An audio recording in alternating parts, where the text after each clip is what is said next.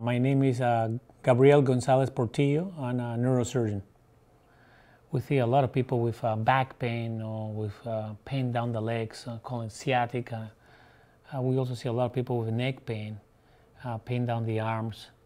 Uh, we also, of course, see patients with brain tumors, you know, or trigeminal neuralgia. And we have also our share of trauma, you know, this being a VC level 2 trauma center, you know. We see a lot of patients with blood clots in the brain or spinal fractures. When I see the patients in my office, you know, with elective, uh, uh, my goal is to make them better without surgery because I treat them like treating myself and uh, I don't want to have surgery, I don't need to. Although sometimes it's hard for the patient to understand, you know, that, uh, uh, that uh, we're offering the best care possible. Some people want to have surgery right away. So we start always with referral to physical therapy, you know, patients who have pain in the spine, uh, we send to get some injection, you know.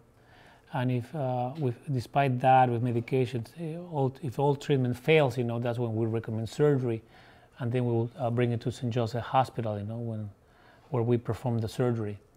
And afterwards, um, uh, almost all of them go home, but uh, uh, there's very few that may need to go to a rehab, so those patients are transferred to rehab. In the case of brain tumors, you know, the vast majority, almost everybody goes home. Uh, of course, if uh, there's a need, we can always send them to rehab. People with uh, brain tumor, you know, we treat here in the hospital, and we get involved the oncologists, you know, the radiation therapists that belong to our cancer institute, and then we design the best treatment for them, you know, and if surgery is necessary, that's what we'll do, you know, and then they will follow with the, the oncologist and the radiation therapist. In this hospital, we have all the specialties needed to provide you know, comprehensive uh, care.